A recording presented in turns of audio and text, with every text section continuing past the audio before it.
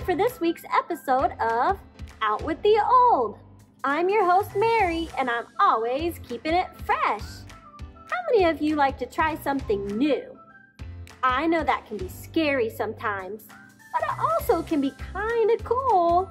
This week, we're learning how we need to stay determined, especially in our walk with God. I am determined to follow God. Mm. Ah, Harry, what are you doing? I'm trying to teach today's lesson.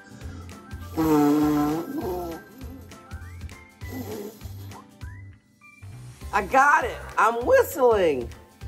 No, you're not. You're just ruining my video. Can you do that in another room? Or better yet, can you not do it at all? It's really annoying. I can't quit now. I've got to figure this out. Harry, I don't have time for this. Besides, you're so bad, it's a lost cause. But fine, since you're so determined, I'll show you just this once. You gotta get your lips wet. Make a little circle like this. Then just push the air out. Can I please finish my video?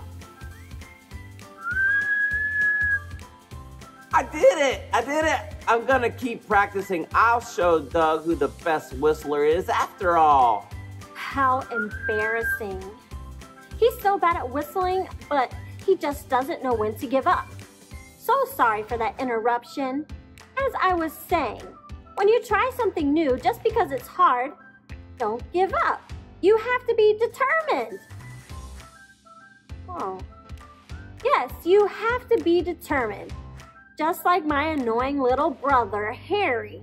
He was determined to learn how to whistle, even when it was tough, and even when I was making fun of him, and telling him to quit.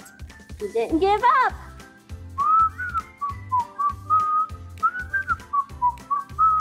Oh, hey, Mary.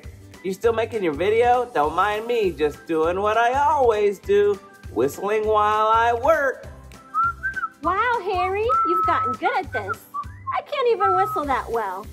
You know, you could do it all along. Just like I've been saying in my video. What are you talking about? You told me I should quit. Me? No, never that. I've always said you must stay determined no matter what. But you told me to knock it off and called me annoying. Uh, you believed me? That was just a test, and you passed. You stayed determined. You reminded me of Daniel in the Bible. When everything around him was changing and he was pressured to change, he stayed determined. He said, I am determined to follow God. And we need to say the same thing. Even when it seems impossible, it's important that we stay determined, especially when it comes to following God. Anyways, I'm just glad I could help you today. That's all the time I have for now. This is Mary Chin, along with my little brother Harry, saying, I am determined to follow God. Bye. Bye.